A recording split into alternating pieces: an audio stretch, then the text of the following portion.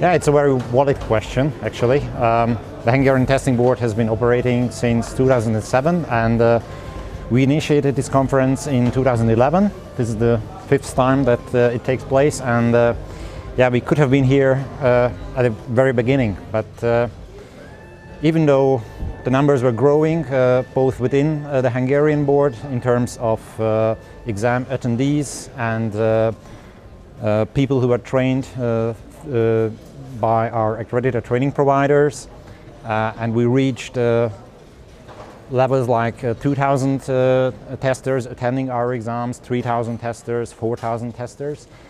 Um, the reason why we are here basically uh, this time with our own booth is uh, the new product portfolio of ISTQB.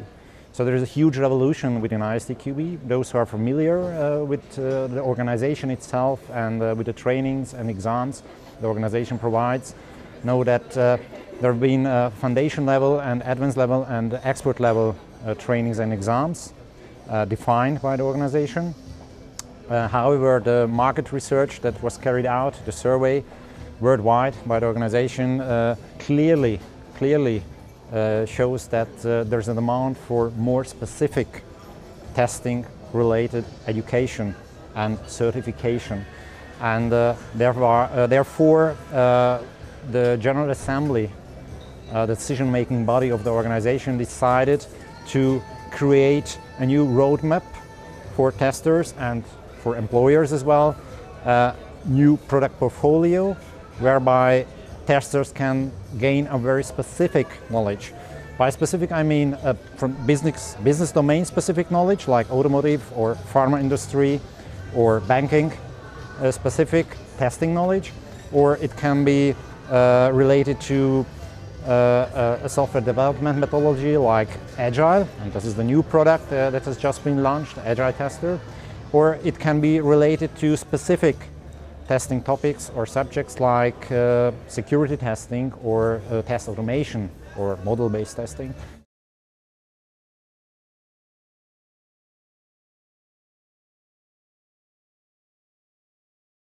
I mean, uh, it's a terrific job uh, that the organization team has done. Uh, I mean, uh, yeah, the, uh, the, program committee with Tibor uh, Szilard as the, yeah, the, the, main figure behind this year's conference, or Timea, who is helping here at the booth. I mean, it's, it's, it has been a teamwork and it's a terrific job.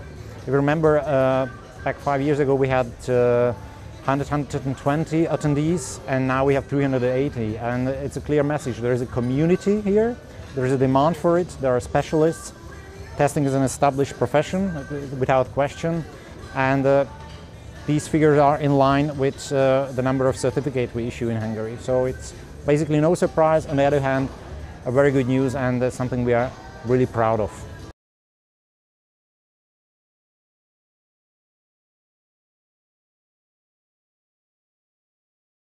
Me personally, I'm uh, definitely I'm interested in expert level, uh, even though it's uh, a niche market uh, from the marketing perspective uh, of ISTQB.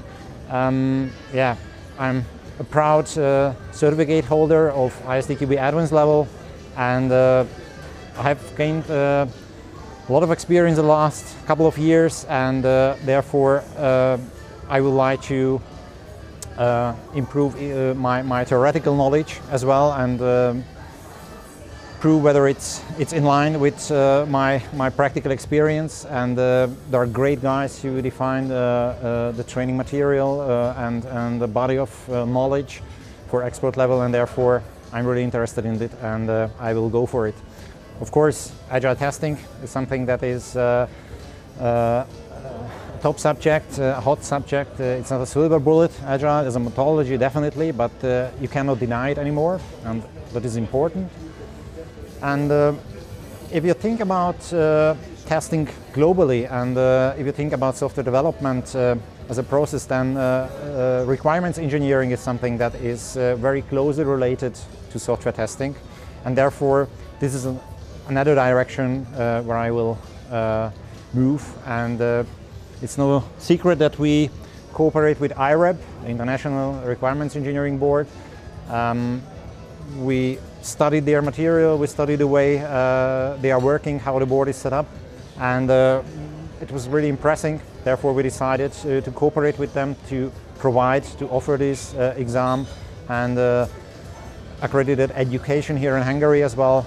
And therefore, yes, requirements engineering is uh, another direction that is motivating for me.